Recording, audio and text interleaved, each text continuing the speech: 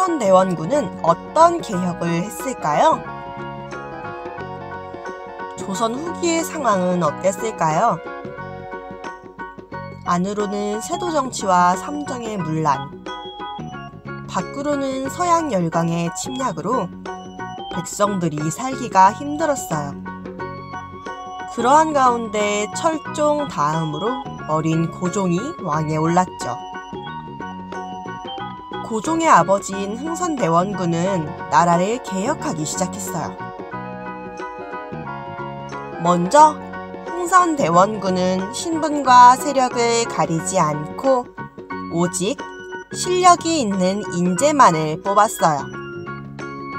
그러다 보니 자연스럽게 세도 정치로 권력을 독점하던 안동 김씨를 몰아내는데 성공했죠.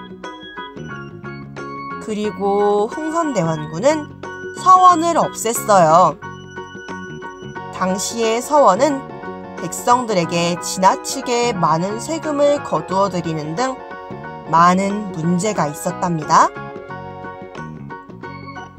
그래서 흥선대원군은 선비들의 엄청난 저항에도 불구하고 전국에서 47개의 서원만 남기고 모두 없앴어요.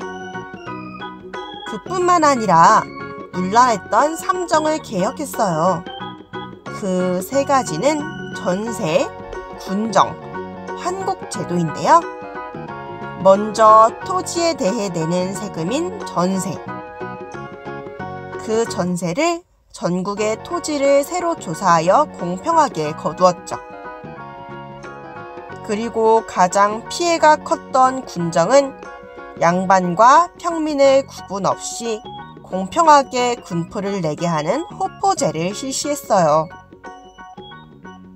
마지막으로 환국제도를 개편하여 마을 사람들이 공동으로 창고를 운영하여 관리들이 중간에서 이익을 챙기지 못하도록 사창제를 실시했죠.